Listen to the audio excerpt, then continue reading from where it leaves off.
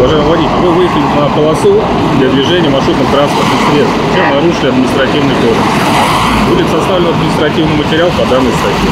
Первые нарушители появились сразу же. Ну а что? Логика проста. Полоса-то пустая, другого транспорта, кроме маршруток, и нет. Чего бы не сократить путь. Вот и сократили. На штраф. Согласно части 1.1 статьи 12.17 Кодекса об административных правонарушениях Российской Федерации, движение транспортных средств по полосе для маршрутных транспортных средств или остановка на указанной полосе в нарушении правил дорожного движения влечет наложение административного штрафа в размере полутора тысяч рублей. Нарушителей хватает, говорят в госавтоинспекции. За прошлый год лихих водителей, которые решили проехать по выделенке, было больше 200. В этом году статистику только подбивают, пока 30 нарушителей. Сегодня число их немного выросло.